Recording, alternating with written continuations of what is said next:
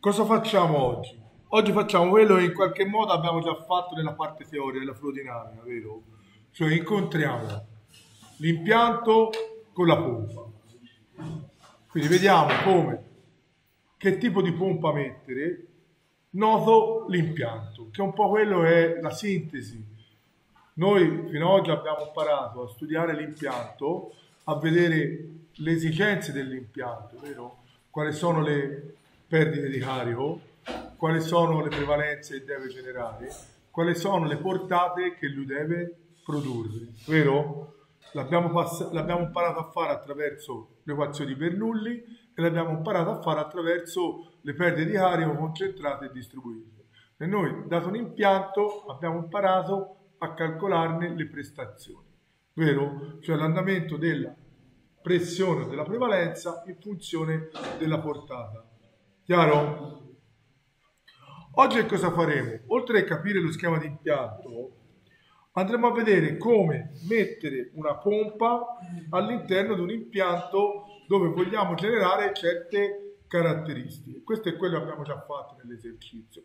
Però oggi lo facciamo in maniera, diciamo, anche con il grafico. Cercheremo anche con i grafici di capire come si incrocia le caratteristiche dell'impianto con le caratteristiche della pompa. Perché noi fino ad oggi cosa abbiamo visto? Quando abbiamo fatto la fluidinamica abbiamo imparato a studiare le caratteristiche dell'impianto, o meglio, come determinare la prevalenza, la pressione, le perdite, ok? Che potevano essere viste o come pressione o come prevalenza manometrica. Poi abbiamo visto tutte le pompe, abbiamo visto come, vabbè, le tipologie di pompe,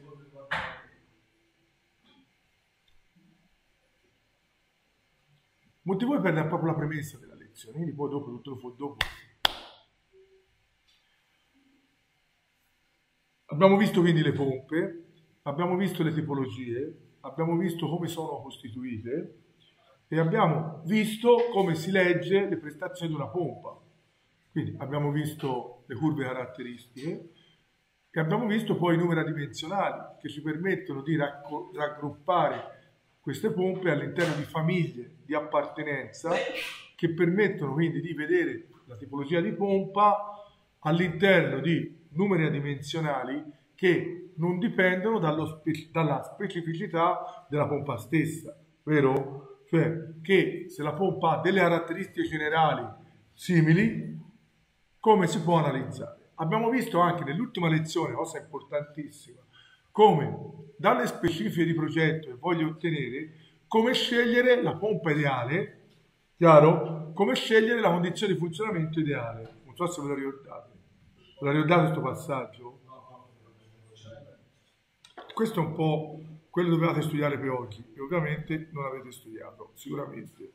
Però poi avete la lezione dopo, manca questa parte, non è che tutte le volte si può ripartire indietro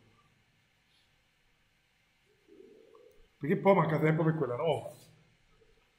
Allora, l'ultima volta si è visto, a parte i numeri dimensionali, che va bene, che racchiudono tutte le pompe, si è visto come a seconda di due valori, il numero di giri specifico e il diametro specifico, scegliere la tipologia di pompa. Chiaro? Ovvero, si è detto anche il numero di giri specifico ci dà un'indicazione di come far funzionare la pompa affinché sia massimo il lavoro specifico e la pompa riesce a trasmettere al fluido.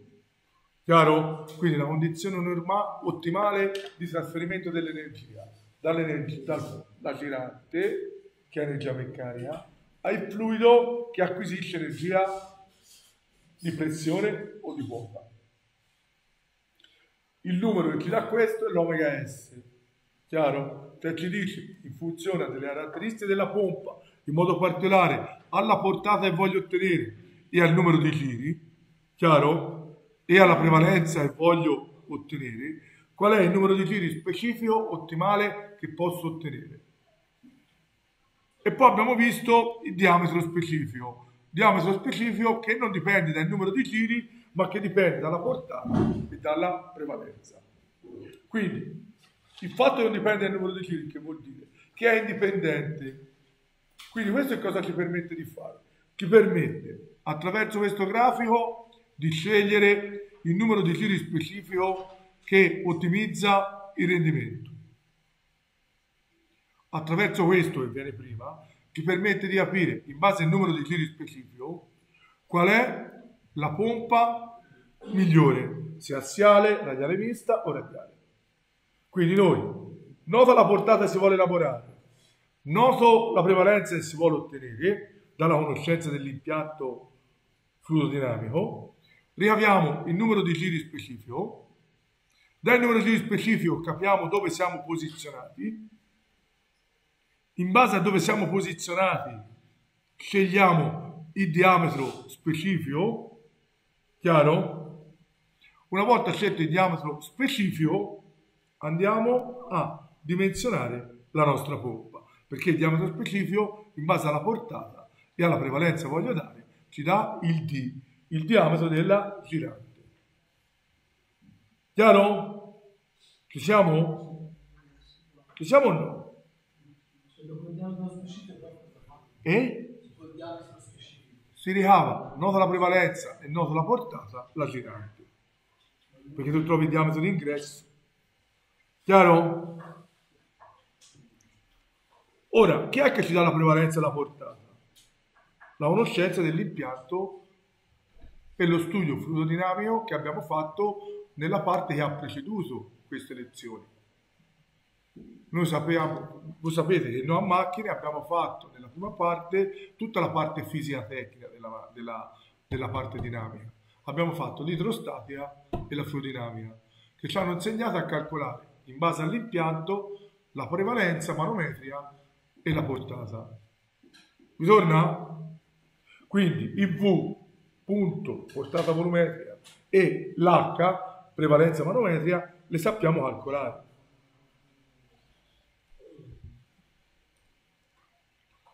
Oggi cosa facciamo? Vediamo lo stesso ripetuto nell'impianto, ovvero noi abbiamo un impianto, conosciamo, questo è l'esercizio che avete fatto nel compito prima di questo gruppo di lezioni, nell'argomento prima, chiaro? Che era come calcolare la prevalenza manometrica sulla base anche delle perdite di carico, chiaro? E qui vi riporta il tutto vi riporta le quote di battente, di pelo libero, quello che sapete fare, vero? Noi sappiamo che spesso ci basiamo sul pelo libero come quota, considerando quella come valore di partenza. Chiaro? Quindi, una volta è noto la quota di pelo libero, ZV, una volta è noto lo ZM, la quota di pelo libero che voglio ottenere, una volta è nota la portata che voglio elaborare, quindi la quota cinematica che voglio dare mio fluido, conosco la quota barometrica, conosco la quota cinematica dalla portata, dando per scontato che la quota di pressione è uguale perché trasferisco dalla pressione atmosferica alla pressione atmosferica, quindi non devo vincere una parte avversa di pressione, altrimenti devo tener conto anche di quella, e anche lì abbiamo fatto esercizi, ovvero se qui c'è un serbatoio aperto, qui c'è un serbatoio chiuso a pressione, devo conferire al fluido anche energia di pressione. Quindi alla parte per, alla, all'H, alla parte cinematica che dà la portata, devo aggiungere anche la parte di pressione. Inoltre conosco in questo impianto la parte delle perdite, che le posso vedere o come perdite di altezza o come perdite di pressione. Non cambia niente, perché attraverso la legge di Stefino le posso legare. Vero? Chiaro? Bene. Una volta quindi conosco la quota che voglio generare, la portata che voglio elaborare le perdite di carico che sono legate attraverso il numero di Reynolds alla portata che voglio generare e al diametro che, dei condotti che ho disponibili, chiaro? Non sbagliamo il diametro dei condotti con il diametro della girante, va bene? Il diametro della girante è macchina, il diametro dei condotti è impianto, Chiaro? Una volta io noto queste caratteristiche, ho quella che si chiama curva caratteristica dell'impianto, che è questa rossa, che mi dà l'H in funzione della portata che voglio generare. Vero? Cioè se io voglio con lo stesso impianto portare più portata, cambia il numero di Reynolds e automaticamente cambia le perdite di carico, oltre ovviamente a cambiare la parte cinematica che devo dare al fluido. Chiaro? Quindi ho la curva rossa che è fatta da due componenti.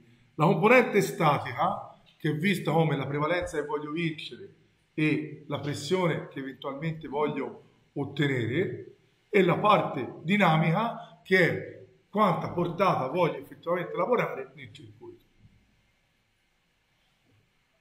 L'insieme delle due lo posso vedere come prevalenza manometrica, perché attraverso le equazioni per nulli posso ricondurre la parte dinamica alla parte statica che è l'altezza. Chiaro?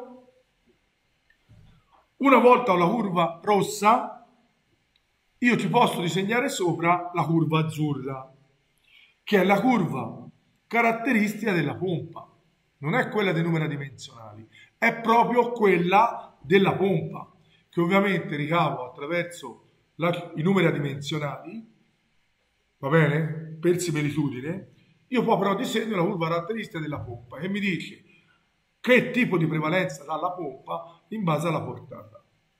Ovviamente concettualmente cosa capisco? Che la pompa ha un'energia meccanica questa energia meccanica me la può dare o in prevalenza o in portata.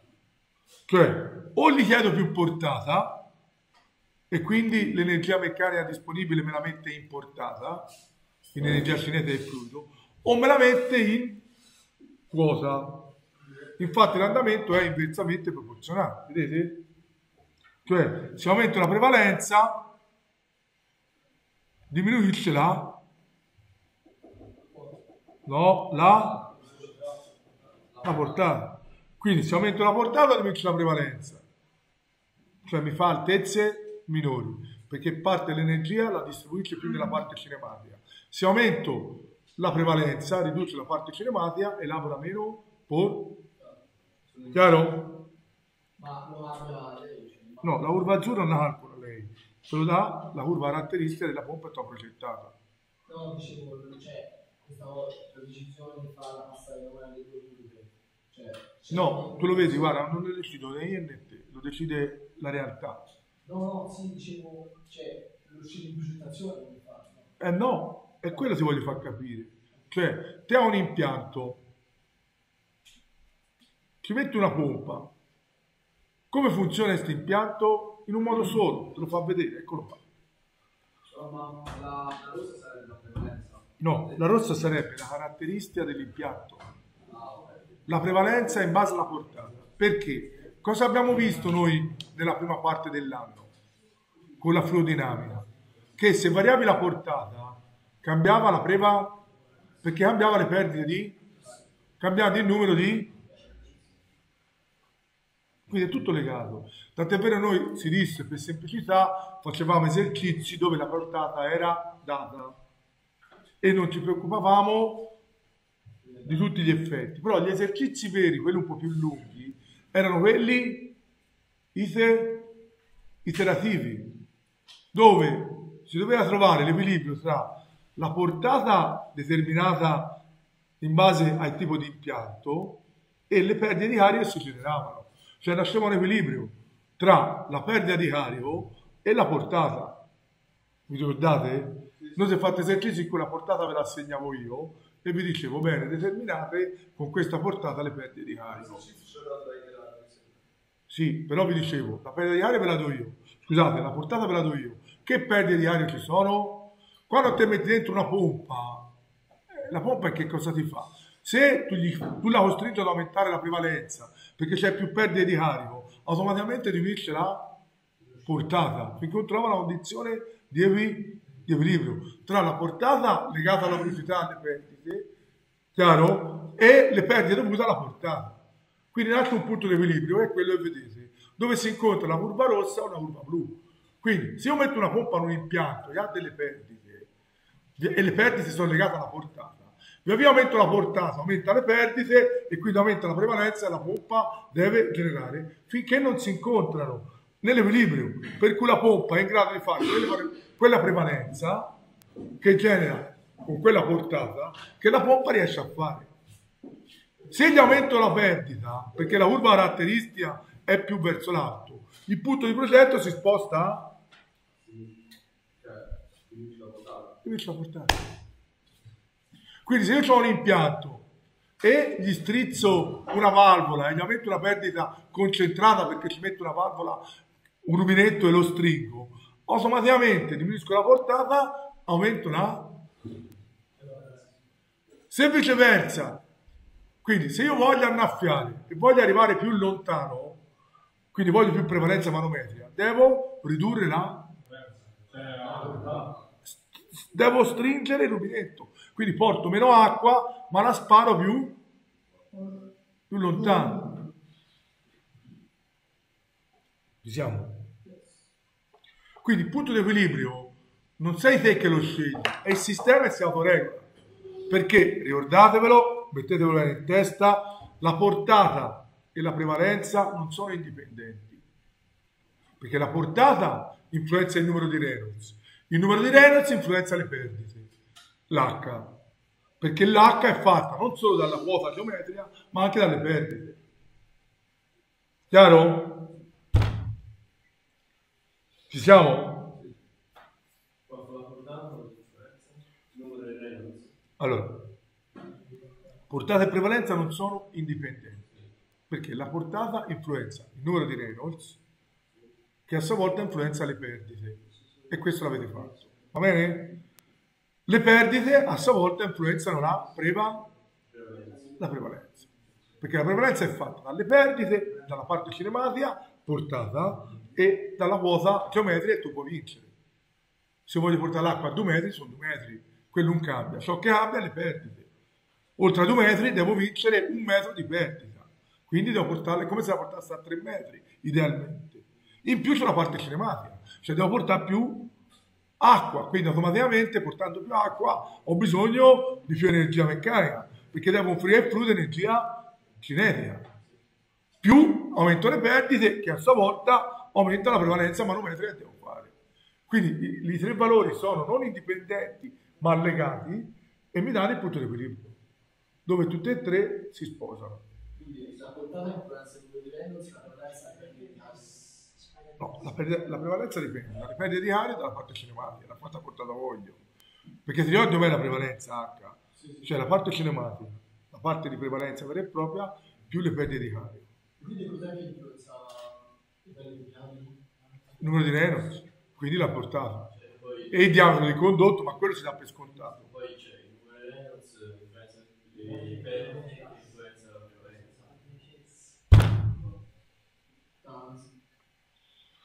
Si dà per scontato che tu hai l'impianto noto, quindi il condotto è di diametro noto, le curve sono di diametro noto, le valvole sono note, gli sbocchi sono noti, cioè che l'impianto sia noto. Cioè questo è noto. Quante curve ho, quanti sbocchi ho, quante valvole ho, che prevalenza ho. Perché se tu cambi questi, automaticamente cambia il punto di equilibrio. Chiaro? Quindi quando io volessi variare la portata, nasce un problema o fa girare la pompa più, altrimenti se io voglio più portata devo rinunciare alla preva non ci piove. Chiaro? Se non voglio rinunciare alla prevalenza, devo avere una pompa che rego la può girare più, più veloce. Va bene?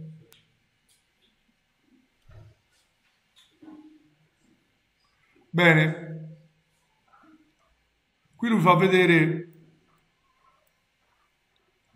due curve caratteristiche del sistema, va bene? E vi fa vedere anche una certa una caratteristica. Noi abbiamo visto delle pompe, vero? Abbiamo visto le pompe volumetriche e abbiamo visto le pompe dinamiche.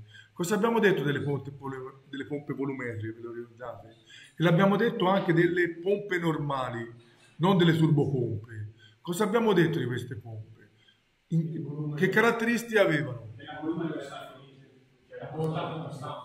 Che la portata era prevalentemente costante. Qui ne vedete riportato un esempio. Vedete, vedete la curva come è verticale?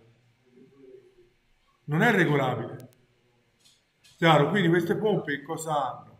Se te vuoi spostare la portata, non lo puoi, non lo puoi fare. Perché? Perché la portata è abbastanza co- costante, quindi a che punto di progetto te tu anche aumentare il numero di giri, però rischi che la portata rimanga quella. Va bene? Ci siamo? Ok.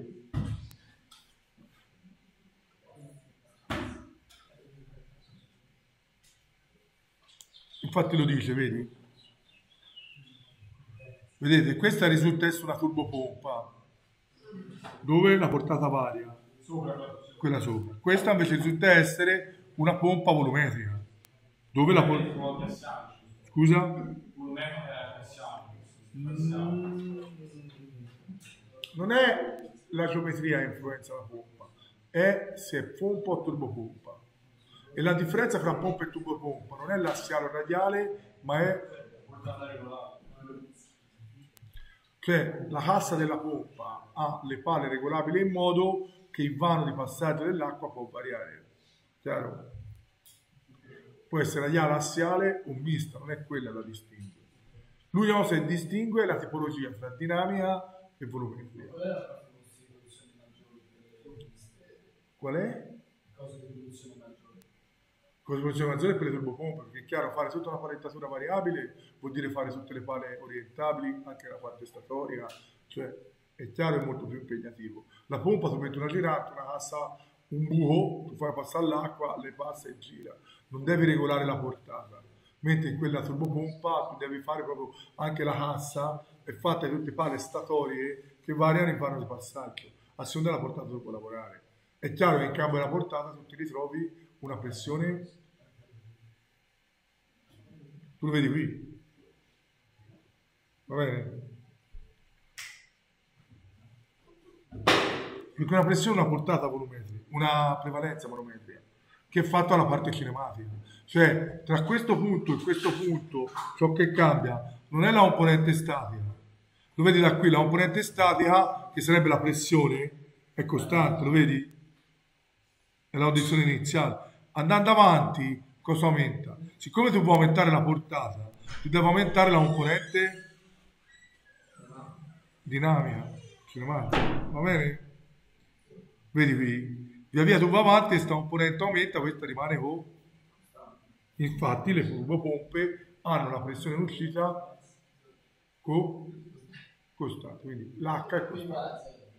No, costante, No, non c'è la differenza. Però lo fanno perché se ci fosse prevalenza l'acqua non esce. Cioè fanno una prevalenza costante, non zero. Se no non tu porti alla vuota. Però se te tu te la portata a 5 metri, tu vuoi portarla a 7 metri, tu vuoi aumentare, non lo puoi fare con queste pompe, chiaro? Perché con le due pompe non si può. Con le due pompe si può solo aumentare la portata.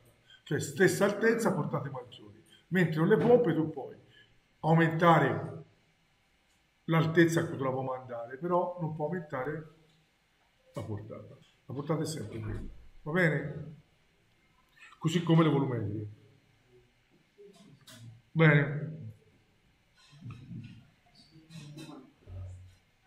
Quindi che vuol dire? Quando te tu agisci con delle pompe volumetriche o con le pompe non possono variare la portata, l'unico modo è variare, per variare la portata, è variare la caratteristica del sistema. Cioè avere un sistema regolabile, cioè in cui tu puoi variare per esempio la velocità d'uscita del fluido. Chiaro, perché tu diminuisci o tu aumenti la portata, la prevalenza, scusa, l'altezza a cui tu li puoi portare. Tu aumenti la strozzatura. Ci siamo?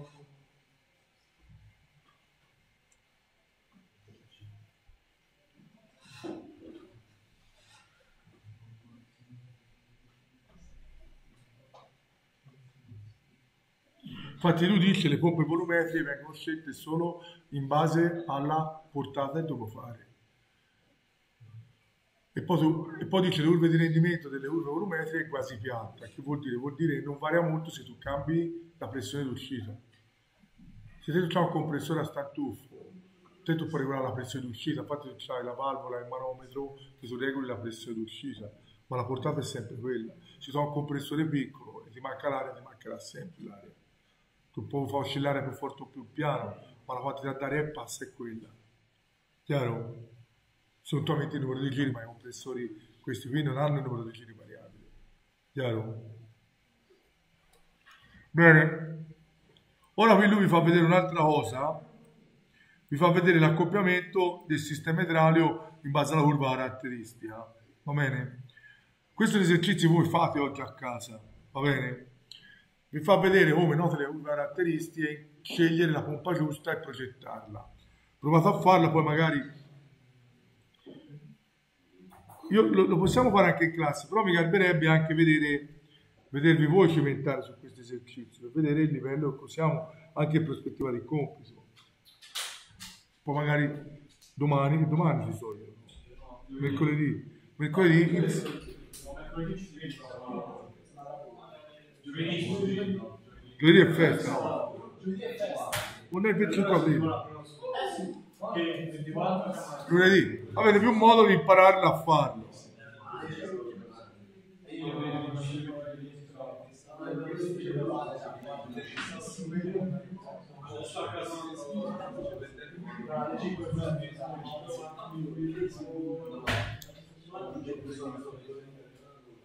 Allora, oh, allora, allora, quindi si è visto, Bego, all'asilo nido è prima, nido addirittura.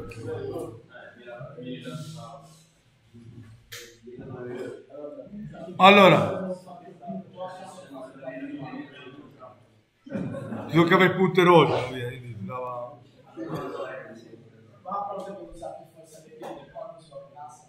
Allora, quindi noi cosa, questa è la parte, questa è la parte diciamo più progettuale delle pompe, va bene? Cioè vedere come sceglierle e come ottenere il, il punto migliore di funzionamento, va bene? Ok? Quindi qui vediamo la caratteristica del sistema e le tre tipologie di pompe. Lui cosa vi fa vedere? Vi fa vedere che, come si, come si diceva prima,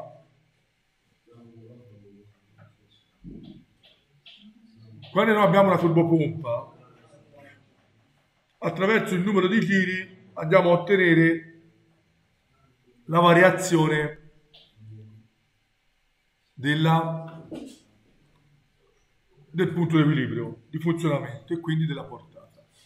Quindi la regolazione della turbopompa prevalentemente si fa con il numero di giri all'80%, al 100%, al 120% del numero di giri di progetto che coincidono più o meno con quella di rendimento massimo, vero? Il famoso omega S, ricordate?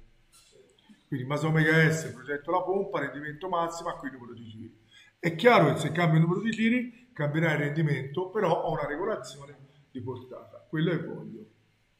È come la macchina, no? Se ho sempre a 2500 giri coppia massima, più o meno c'ho anche il rendimento massimo. Però posso andare anche a 3000 o 4000 e rinuncio al rendimento massimo. In cambio una prestazione. Siamo a posto? Vi si disturba? O parlo più piano, se no vorrei disturbare il vostro dialogo. Importante. Allora, e qui è quanto, va bene?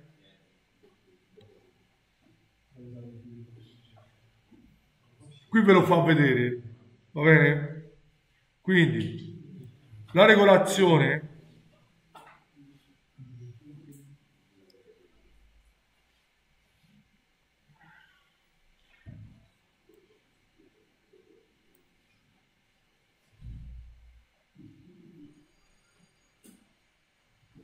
Qui vedete abbiamo al numero di giri ostante la variazione della la variazione di curva caratteristica, cioè di punto di equilibrio, attraverso l'agire sul diametro della, della girante. Nell'ipotesi che il diametro della girante, come si diceva prima, sia rego, regolabile. Va bene? Quindi qui si cambia il punto di progetto a seconda di come varia il diametro di ingresso. Va bene? Bene. Un altro modo, come si è detto, di poter cambiare il punto di progetto, di equilibrio, è quello di agire sulla curva caratteristica. Come si fa ad agire sulla curva caratteristica? L'abbiamo detto prima, agendo per esempio su una, sulla valvola, sulla sola cinesca, va bene? C'è anche decisi proprio dove si regola questa. Scusa? No, guarda, cerchiamo tanto di aprire concettualmente, poi vediamo l'esercizio su che base magari vi stimolo, perché alla fine devo portare a casa alcun risultato. Se fa un esercizio non porta a casa nulla. No, esercizi sicuro. Le domande sono minime. L'esercizio mi fa capire se avete capito anche la teoria. Capito? No, sono tutti esercizi. Quasi tutti. Ci sono domande. No, vedendo come sviluppa il libro è tutto esercizio. Ok? Si deve Eh? Cioè, La teoria si sta facendo.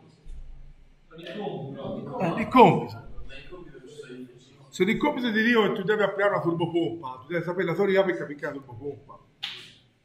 Però la devi applicare correttamente, non che tu mi dici solo. si fa sempre un discorso dire Ora ho da valutarla ancora, sono ancora. Oh, di. Ok. Allora, lui mi fa vedere che il modo più semplice per regolare è quello di regolare il numero di giri, come si diceva prima. Chiaro?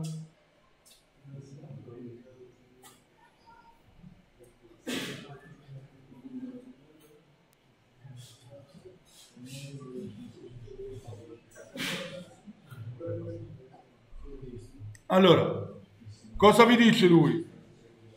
Vi dice che il modo di regolare la pompa attraverso il numero di giri è abbastanza semplice. Soltanto molte volte regolare il numero di giri diventa abbastanza complesso, soprattutto ci sono alcune macchine che non hanno il numero di giri regolabile, compressori quelli di commercio, le pompe, vero? Oggi ultimamente nascono pompe elettriche e hanno un inverter a bordo e quindi si cambia il numero di giri, ma solitamente le pompe vanno in base alla frequenza di rete, quindi il numero di giri ben stabilito. Chiaro? Dice un altro modo, un altro modo di poter regolare le condizioni di funzionamento è quello di regolare la, la curva figura 1743 volevo far vedervela qui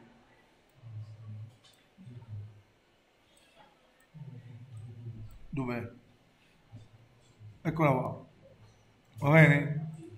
cambiare anche quelle anche quelle volumetriche cambiare il numero di giri va bene? qual è il problema di cambiare il numero di giri? il problema di cambiare il numero di giri ve lo dice qui va bene?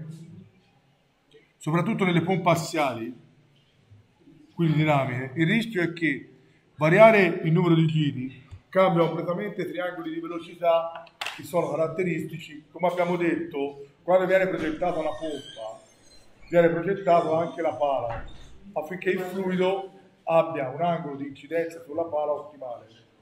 Se io cambio la portata o il numero di giri, quindi la, Ragazzi, il prossimo niente ho butto fuori a pedare il culo, perché mi sono rotto l'anima. Poi mi chiedete andare a ripetizione. Sto a spiegarti a tirare. Ho pensato che tanta gente in grado di spiegarvi questa roba.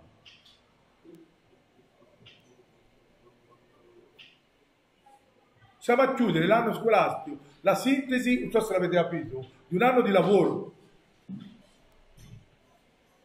Si sta mettendo insieme un anno di lavoro Non è che siamo a fare un altro argomento che quello prima si può dimenticare. Questo argomento richiede le competenze prima e le competenze nuove. Fai voi. Se non arriviamo lì, bisogna rivedersi a settembre, sapete, eh? non è che sono molto buoni molto generosi. Metto a disposizione il mio tempo anche a settembre, che devo fare? Mentre sto a spiegare, mezzi voi per la terza volta mi fermo a chiacchierare. Ogni 5 minuti mi distraete. Non riuscite a stare un'ora attenti.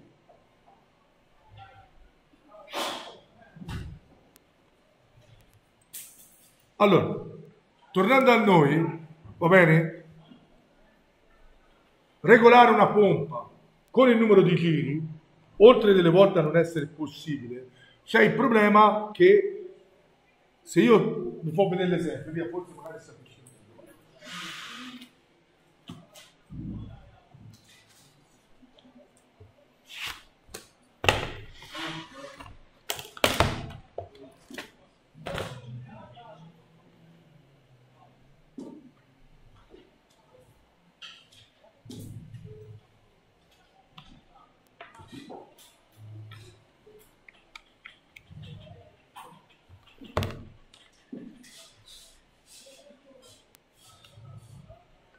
Io fondamentalmente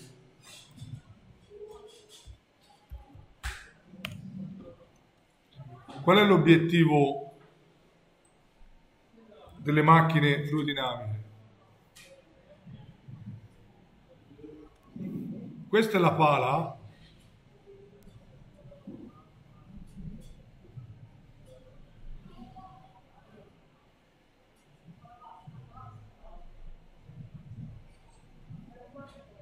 e di far incidere in un certo modo il fluido sulla pala onde poter avere uno scambio di energia meccanica con l'energia, cioè l'energia meccanica della pala o l'energia che do al fluido. L'incidenza di questo è fondamentale. L'angolo, invece di entrare tangente, entra con un certo angolo, perché se entrasse tangente non scambia nulla. Chiaro? Ora, questa, questa incidenza dipende da due fattori. Dipende, la pala, allora, tu puoi vedere la pala ferma e il fluido che si muove. Il fluido ha una velocità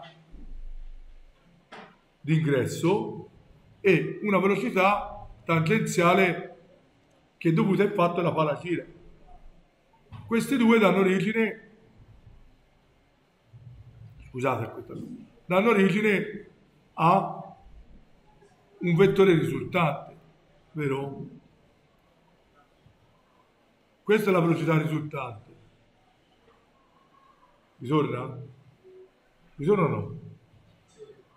Se io aumento la portata, questo rimane uguale, questo cresce e il vettore, diciamo, si addirizza. Riduce la sua incidenza. Chiaro? Se esagero troppo a ridurre la portata, rischio di aumentare l'incidenza, al punto che le pale battono e non escono a entrare dentro perché entrano talmente tanta incidenza che non hanno componente aziale per entrare dentro e quindi gira, batte e non porta portata. Li fa da tappo invece da guida. No, non rimane fermo, il fluido rimane fermo. No, perché? Perché cambia l'incidenza, per cui la, l'acqua entra così, batte e torna indietro invece di entrare dentro. Chiaro? Perché ha troppa incidenza, non ha componente cinematica che gli permette di risalire. No, l'opposto, troppo angolo rispetto alla pala. Chiaro? Quindi lui si dice dovrebbe essere meno con incidenza ottimale, che gli permette di avere anche la componente assiale per entrare dentro. Chiaro?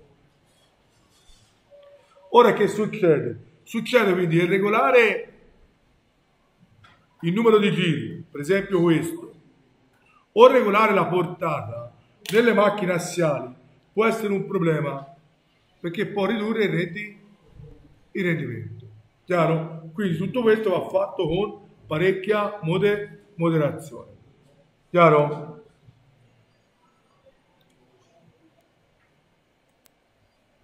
Bene.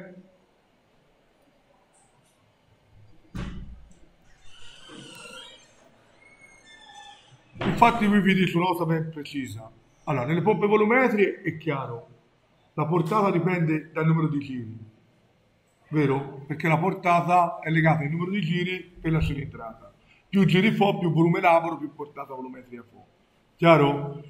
Quindi per avere la portata volumetrica nelle macchine, la portata volumetrica nelle macchine volumetriche basta fare la frequenza per la, la cilindrata. Quindi ho il volume fratto il tempo. Ci piove. Vi torna?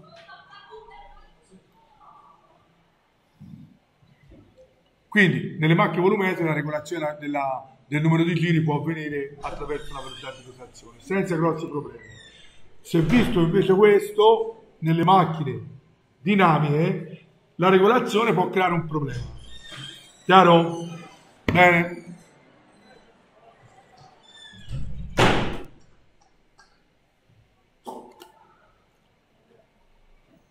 E qui infatti vi dice, nelle pompe volumetriche la portata V è direttamente proporzionale alla velocità di rotazione. Essendo la caratteristica di queste pompe una linea verticale, sposto semplicemente la linea verticale. Eccola qua. Ma non creo grossi problemi alla pompa. Chiaro? Cambio solo la prevalenza di equilibrio. Lui invece ti dice che nelle macchine assiali, eccolo qua, il metodo di regolazione più seguito è quello che fa variare la caratteristica del sistema, invece di variare le caratteristiche della macchina. Tale metodo, mentre non presenta inconvenienti per le pompe centrifughe, deve essere empleato in cautela per le pompe assiali. Perché? Perché le pompe assiali hanno un altro problema. Siccome, come si disse, rispetto alle pompe volumetriche, le macchine assiali sono poco prestazionali, quindi nel passaggio il fluido acquisisce poca pressione perché lavora solo sull'incidenza della pala, non lavora sulla parte di rotazione. Se vi ricordate bene abbiamo detto che le pompe centrifughe elaborano pressioni elevate, portate piccole. Avendo pressioni elevate, anche se fuori si aumentano le curve caratteristiche, cioè se gli metto davanti una pressione maggiore da vincere, il compressore riesce a far uscire il fluido e a vincere l'avverso di pressione. Nelle macchine assiali, avendo poi pressione, se io il fluido qui davanti trovo una pressione troppo e non riesce a ricevere il giacinetia dalla pala, invece da davanti che fa? È il famoso pompaggio, cioè la pompa se ne fa tum, tum, tum, non riesce a portare fuori il fluido, non, non gli dà energia sufficiente per vincere l'onda di e quindi torna e tu senti la botta perché il fluido arriva, torna indietro, quindi a un certo punto piglia sulla pala. Quando lascia tu senti il colpo perché la pala una più pressione comincia a vibrare. Chiaro? Quindi nelle macchine assiali la regolazione con la curva caratteristica, cioè strozzargli la pressione a monte, mandargli una pressione maggiore, tu rischi che la portata è dall'altra parte. Guarda se è là nell'ala difficile. Chiaro? Ci siamo? Avete capito? Quindi regolare nelle macchine dinamiche assiali la curva caratteristica invece il numero di giri per regolare, trovare il punto di progetto è pericoloso. C'è il rischio che tu regoli la curva caratteristica aumentando la sovrappressione in uscita dalla pompa e che la pompa non riesca a lavorare il fluido, comincia a pompare e non esce più nulla. Eh, chiaramente questi ultimi fanno bene. C'è il rischio anche di spaccare la pala. Chiaro? Tu senti proprio le botte, boom, boom, boom. Tu devi aprire di orsa la prevalenza, fagli riabbassare la pressione e poi oscillare. Eh, dalle curve caratteristiche. Tu devi cercare di andare in punto di progetto che sia il più lontano possibile da questo rischio. Chiaro? Poi delle volte in laboratorio si fa anche proprio del test bed, cioè si fa il test bed e si va a regolare la, la contropressione allo scarico con le soracinesche, quindi si accorge che comincia, inizia a pompare piano piano e quello si capisce sperimentalmente il punto limite oltre il quale bisogna spingersi. Non devi pompare. Avviene il pompaggio quando ho detto con la nuova caratteristica, tu gli aumenti troppo la prevalenza in uscita. Quindi lei cosa fa? Il fluido davanti a sé ha una, una pressione troppo alta e la palla ce la fa dargli l'energia per vincere. E quindi non avendo energia cinetica sufficiente per, per convertirla in pressione, quando ha finito l'energia cinetica la convertiamo a pressione, se la pressione è inferiore a quella deve avere, un po' andava avanti, piglia e torna. Cioè la pressione è comanda, capisci? Cioè che cosa fa il filetto di fluido? Riceve l'energia cinetica dalla pala, poi via via la converte in pressione, quando ha finito l'energia cinetica si ferma. Se la pressione non è sufficiente a superare quella davanti, l'unico modo è tornare dove la pressione è più un effetto di pressione, un effetto di volontà delle particelle, insomma, chiaro. Mentre nella pompa, come abbiamo già ripetuto, nelle pompe radiali questo problema non c'è perché la pressione è strettamente sovrabbondante. Quindi se anche tu aumenti la pressione dello scarico, lei ce la fa sempre uscire. Chiaro?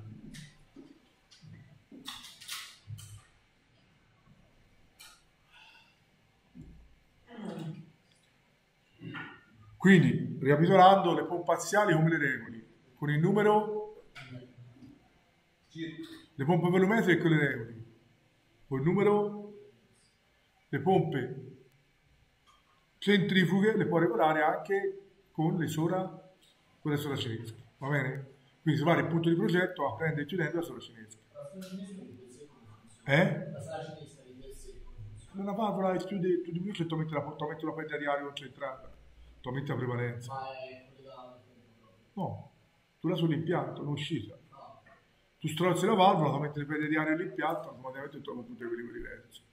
Tu cambi la caratteristica, no? La caratteristica è in prevalenza portata. Stringendo la valvola, automaticamente tu aumenti la la, prevalenza, tu diminuisci la portata. È matematico. Te lo fa vedere anche qui. Vedi qui. Le curve rosse sono curve caratteristiche dell'impianto. Come fanno a variare? Attraverso la sola cinesca, lo dice anche lui. E tu trovi un punto di progetto diverso a portate diverse. Ok? Questa è la caratteristica della pompa, invece rimane costante. Quindi questo lo si fa in una pompa assiale dinamica. Questo sotto si fa o in una pompa volumetrica o in una pompa, una turbopompa. Però centrifugata. Va bene? Qui si varia la caratteristica dell'impianto per scambiare il punto di progetto. Cioè se strozza una valvola e si aumenta le perdite concentrate. Le perdite. Qui si regola il numero di giri della pompa e si cambia il punto di progetto. Chiaro? Va bene? Questo si fa sia nelle volumetriche che nelle radiali. Anche dopo pompe, no? Eh? Anche dopo pompe. anche volendo turbopompe, però sempre radiali, perché anche turbopompe assiali sono sensibili, perché anche loro hanno il problema della pressione, anche se possono la portata non ce la fanno. Chiaro? E prevalentemente le turbopompe prevalentemente lavorano sempre con quelle configurazioni radiali, non assiali. Va bene? Qui abbiamo due turbopompe uguali, vedete, le regolano con questa è la caratteristica del sistema e questa è caratteristica delle pompe singole, che poi su somme tu trovi il valore di, pro, di progetto. Qui invece come sono due pompe in serie, dove si aumenta la prevalenza. E questo è il punto di progetto. Va bene? Vi ho dato serie parallele delle pompe. Nelle pompe in serie si aumenta la prevalenza rimane costante la portata. Nelle pompe in parallelo rimane costante la prevalenza e si aumenta si raddoppia la portata. E qui va fare un altro esercizio. Anche questo fatelo, se poi c'è dei problemi me lo dite. Eh? Se non vi riescono si rifanno, va bene? Se non vi riescono si rifanno. Allora, vediamo ora il fenomeno della cavitazione. Allora, il fenomeno dell'abitazione è un fenomeno dovuto, l'abbiamo un po' già spiegato, al fatto che la pompa aspirando diminuisce la propria pressione. Questo il problema della vibrazione ce l'abbiamo soprattutto nelle pompe, non a immersione, ma nelle pompe in aspirazione.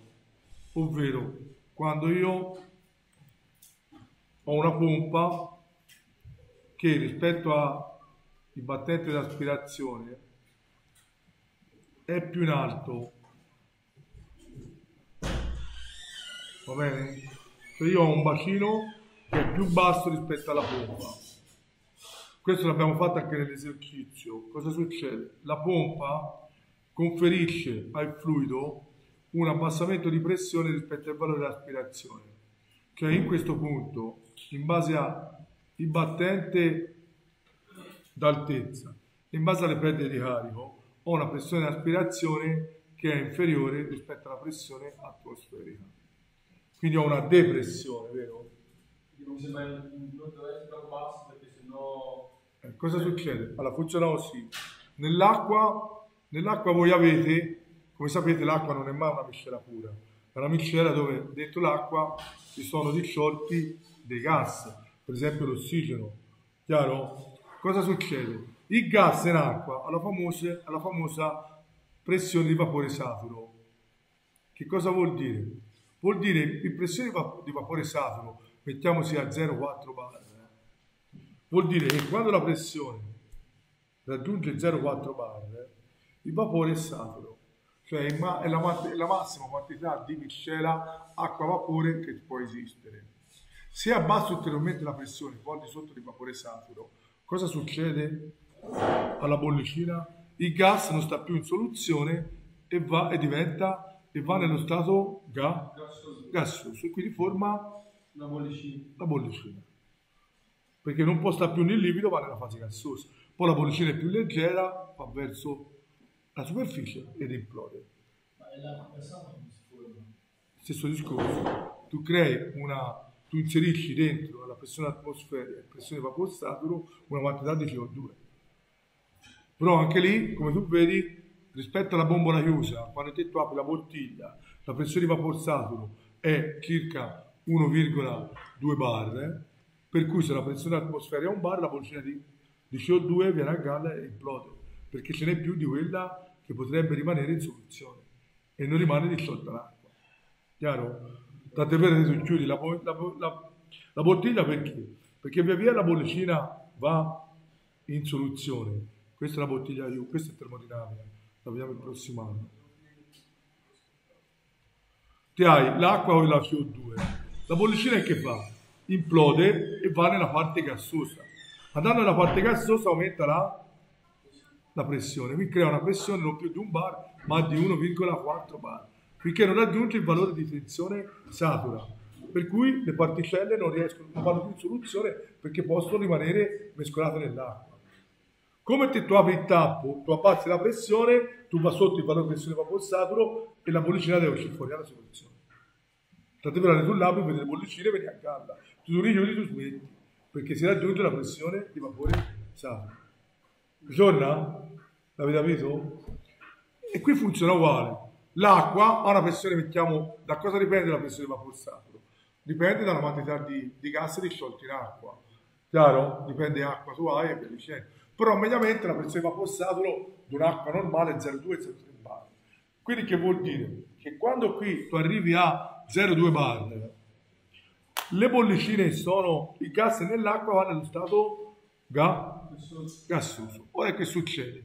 Te me qui ti tu aspiri a 0,4, poi passa attraverso la pala, passando attraverso la pala si genera a sua volta, per, per- per problemi anche di perdite, una diminuzione di pressione. Quindi l'acqua va dentro e passa nella pala, subisce delle variazioni di pressione. Cosa succede? Il vapore diventa una bolli.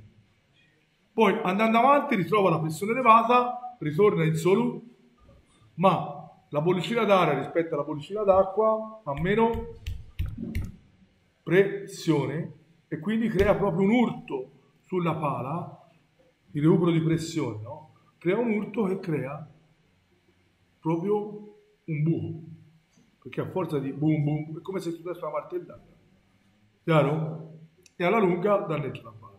Te ne accorgi perché quando hai proprio nell'abitazione tu senti proprio il rumore tipo della bollicina che nasce e che si rompe, il battere della bollicina che si forma e che si ricomprime e quindi crea sulla pala l'urto. Eh? Spesso le butti via, le girate le pompe non è conveniente ripararle. In alcuni casi hanno delle pompe sono proprio buone, te le risaldano, cioè ricostituiscono il foro con della saldatura immateriale, però è un lavoro e ha un costo. E poi bisogna vedere, siccome solamente quella è una zona a rischio abitazione, prima o poi in quella zona si manifesta sempre un'abitazione e quindi c'è sempre il rischio che anche la saldatura non incolla mai bene rispetto al materiale d'origine, si ristacca e si rompa. Poi dipende dal costo della pompa, ovviamente. Il costo di manutenzione incide sempre sul costo della pompa, no? Cioè, vedete qui, queste sono tutte bollicine d'aria e si sono formate, vedete? Eh? Che quando vanno nella pompa creano il buco. Eh?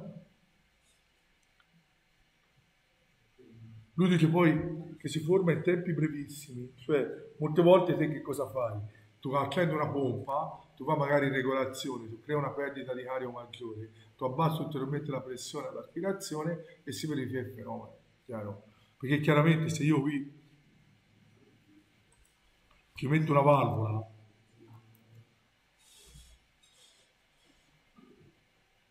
e strozzo, aumento le perdite di aria, aumento l'abbassamento di pressione. Va bene? Bene. Allora, per questo motivo che cosa si crea? Si crea l'altezza netta positiva d'aspirazione, NPSH, cioè si abbina la pressione limite di pompaggio, quello che abbiamo visto quando si fece l'esercizio, ve lo ricordate?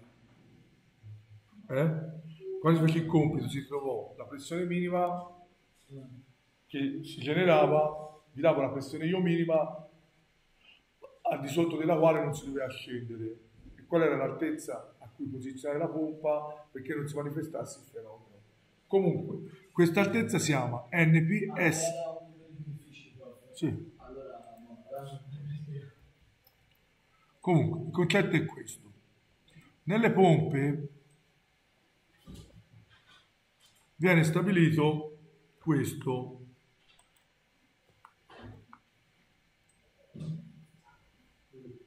Questo è l'altezza disponibile, cioè è a che altezza tu puoi mettere la pompa.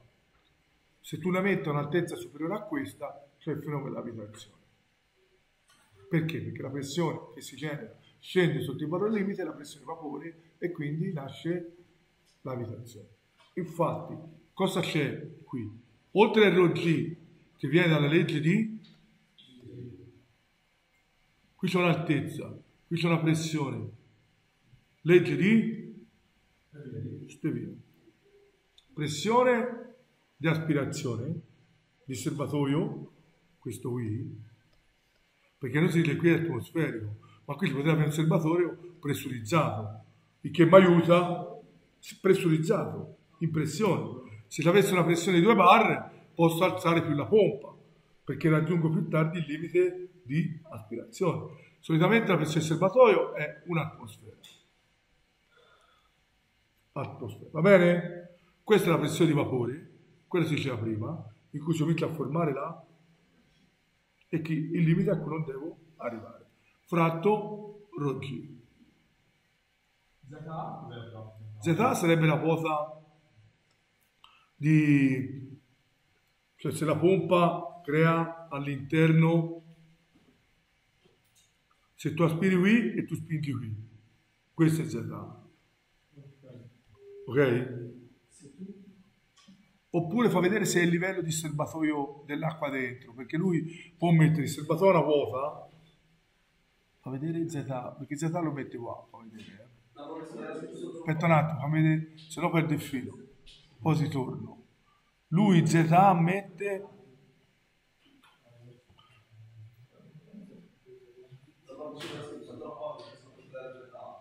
C'è scritto? L'altezza di aspirazione, la quota della bocca di aspirazione della turbopompa rispetto altri di riferimento. Ah, così, a che livello aspira? Chiaro? Meno HLA e le perdite sul tratto d'aspirazione. Quello sarebbe visto, va bene? Ok? Ci siamo? Cioè, se io metto se io metto la pompa qui, questo è il serbatoio, questo è il livello, questo è il condotto, questa è la pompa, se rispetto a questo io ho un livello di aspirazione più alto, va bene? Che va a creare un'ulteriore riduzione. Le perdite di aria nel condotto e questo è l'altezza a cui aspiro, va bene? Sarebbe No? Sì, questo. Bravissimo. Va bene? Siccome queste sono altezze, non le divido per oggi. Va bene? Quindi Z è la differenza tra il pelo libero e, la, l'aspirazione. HLA e le perdite concentrate e distribuite. Questa è la pressione d'aspirazione, questa è la pressione di vapore, a cui il fluido forma le bollicine. Quello circa è 0,4, 0,3. Eh, atmosfere. Ci sarebbe 4 metri. Qui fate conto che l'altezza da un'atmosfera è circa 10 metri, qual è il limite di è circa 6-7 metri. Sopra 6-7 metri la pompa non può aspirare vero? Perché crea la vibrazione, perché diventa residuo, se questo è 6 metri, già solo d'altezza il residuo è 0,4. Poi mettici un po' di perdite, tu vai a 0,2, 0,3 e quindi tu rischi di abitare. Ok? Io sarei fan di pausa. Io direi mezz'oretta no. Mezz'oretta no. Ora vi do 10 minuti che vuoi il bagno io e poi dopo ricomincio. Allora, qui riepiloga, riepiloga l'NPSH, va bene? Che è dovuto alla ZA, alle perdite di carico che si generano in condotto per l'aspirazione, va bene? E quindi che generano il, il rischio di cavitazione, vero? E qui è riportato, va bene? Dato perché la pressione di aspirazione è 10 atmosfere, nota la pressione di vapore, si può riavare questi valori. Ok? Bene. Il, chiaramente la, nella ZA ci sta anche la parte cinematica, ovvero se io voglio aspirare a una certa portata ho bisogno di una certa velocità che riduce ovviamente la pressione, va bene? Con Bernoulli. Bene, lui ora poi mi fa vedere degli interventi per ridurre le perdite. Un modo è ovvio mettere la pompa al di sotto del bacino di aspirazione e quindi creare uno ZA negativo e quindi avere questo termine posi- positivo. L'altro modo lo dice, se proprio non si può ottenere questa soluzione, lui fa vedere la tecnica dell'eiettore. Cosa fa l'eiettore? L'eiettore sfrutta la pressione di alimentazione di un circuito tipo dell'acqua, del, del, dell'acquedotto, e spinge l'acqua in alto a pressione, ma cioè conferisce la pressione dell'acquedotto al serbatoio. Cioè praticamente fa in modo che non si aspiri alla pressione di 10 atmosfere, ma si aspira alla pressione maggiore. Va bene? Mi torna? Perfetto. Oh, meno male. Perché tu stavi attento. Quelli l'hanno capito perché facevano questo. Vieni a spiegarti, uno l'ha capito e non ha fatto la domanda. Vieni. Loro hanno capito, hanno fatto domande. Devo spiegare voi? Meglio io. eh? Allora, te che cosa fai? Te nell'NPSH, si è detto prima, questo termine, vediamolo qui, questo termine qui è la pressione aspirazione, che solitamente in un serbatoio è la pressione atmosferica. Però io questo termine lo posso aumentare allontanandomi, aumentando l'NPSH. Cioè se io aumento la pressione di aspirazione, la pompa la posso posizionare anche più, più in alto. Come faccio a aumentare la pressione di aspirazione? Ci metto un eiettore, che cosa fa l'eiettore? Prende la pressione dall'acquedotto, ha pressione maggiore, e spinge l'acqua questo lato. Quindi è come se aumentasse la pressione di selva, chiaro? E quindi aumento l'NPSH e quindi mi permette di avere un battente in aspirazione maggiore. Chiaro? Va bene? Ora, sempre qui vi dà l'esercizio, e questo è uguale a quello che avete fatto nel compito in cui si va a trovare l'altezza minima oltre il quale si ha il fenomeno dell'abitazione. Lui vi dà la tensione di vapore, vi dà le caratteristiche dell'impianto e vi dice qual è l'altezza oltre la quale si genera le perdite, si crea l'abitazione. Chiaro? Vi dà la tensione di vapore, vi dà già le perdite di cario lui, cosa che invece voi nel compito dovete saper calcolare. Questo mi sembra ovvio. Questo è un vantaggio perché chi mi fa bene questo compito e mi sa calcolare le perdite di carico è a posto, ha finito. Se non le sa calcolare, rimane il recupero che non. Se no, se, se sa calcolare le perdite di carico, Ha recuperato a tutto. maggio deve tornare, potete tornare a maggio. No, a maggior ragione sulla parte della dinamica, della meccanica si guarda a recuperare quello. Però la parte macchine tu l'hai risolta. Si può essere rimandata anche solo nelle due, eh. che si essere obbligato ad essere due. Si può essere rimandata anche solo a macchina o meccanica, Ma anche se non c'è una media sufficiente. anche se la media non esiste. Non esiste. No, già va. Ma dove esiste? L'Egitto è la media, ma una media un po' significativa. Eh, capivo, ma se non c'è la positiva non è che si può svantaggiare. Vedrai di qui che alla fine dell'anno, se decido di rimandare, l'avrà negativa. Ah, Se non sei così, farò in modo che tu vedrai più rosso, tu capisci. Lui è così come il duce. O così o così. No, non come il duce, no. Allora, un, un inquadrare, un inquadrare, io ti dico, eh, No, no, ma io, ti, io le dico la verità, è giusto così, proprio come fanno gli altri professori, mi mettono tre, poi prendo sei tutto l'anno e mi mettono cinque in pagella, e senza c'ha, se l'ho recuperato, l'ho recuperato. Soprattutto, Io so- sono soprattutto nelle materie. in tuo caso, ma non è caso c'è il So- so- Ma se, scusa, ma se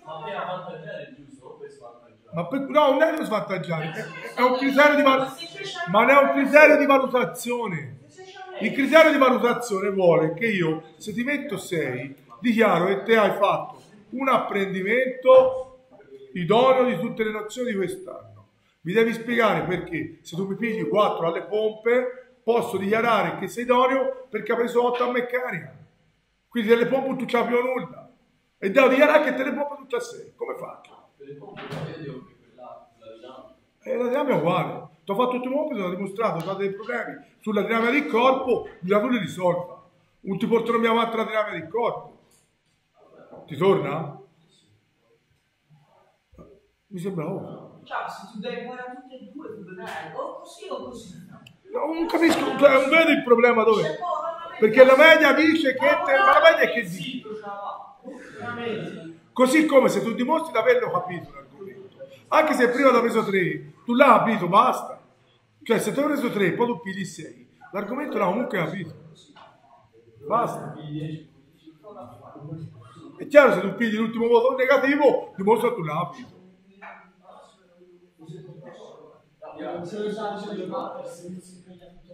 Eh? Se non si impegna tutto l'anno. Fa in modo che lui ci cuccia. La lavagna la dimostra. Quello è il punto, no?